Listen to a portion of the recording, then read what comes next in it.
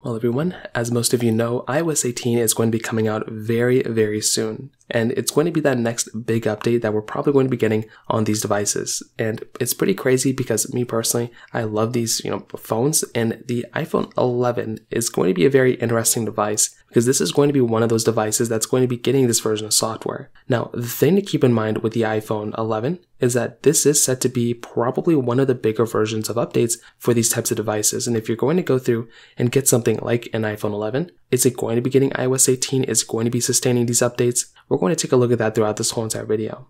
Now, first of all, if you're in the market and if you're planning on buying something like an iPhone 11, keep in mind that this particular device, like I said, there's a very high likelihood this particular device could end up getting that next version of software. But there's also like a 50-50 chance where it may not. And I'm to be honest, I'm pretty sure it will. I think there's a very, very high likelihood these types of devices will continue on and get the next version of software here and there. But I want to let you guys know that there may be a chance where that doesn't happen. And I would hate for you to go and get a device like this if we're basically, you know, in that situation. So that right there is just kind of one thing to keep in mind. Beyond that though, with all the leaks and rumors that we've seen about iOS 18, all basically everything I've seen so far is basically alluding to the fact that this particular device, you know, could end up getting this version of software, which would be amazing. And if it gets it, that's going to be very, very cool. The thing with the iPhone 11, you know, with this particular device is that this particular phone is still going to be maintaining a lot of different cool things within it.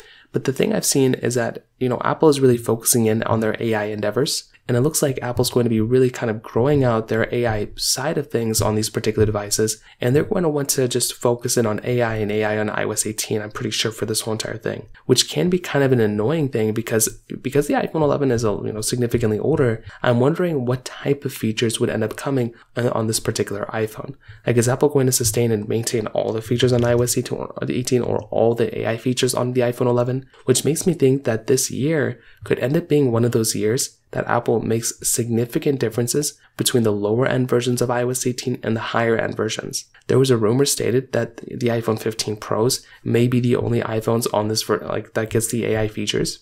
If that ends up being the case, well, that's going to be a significant amount of devices that are basically going to be removed in terms of getting those AI features, which personally for me is definitely going to be a very, very sad thing. And I really hope that doesn't end up being the case, but that could end up being the case. You know, that's something Apple's done many, many times before. So in terms of that, that's kind of what we could expect to see within the iOS 18 update for the iPhone 11. I'm pretty sure it's going to get it, but it may not be this big ginormous update that this phone is going to be getting in terms of software updates. So from that side, that kind of covers it up there. If you have any other thoughts or questions, let me know in the comment section below. Hit the like button, that would mean so much, but definitely hit that subscribe button. More importantly than everything else, I love every single one of you guys. Hopefully I'll catch you guys in the next video. Peace out till then.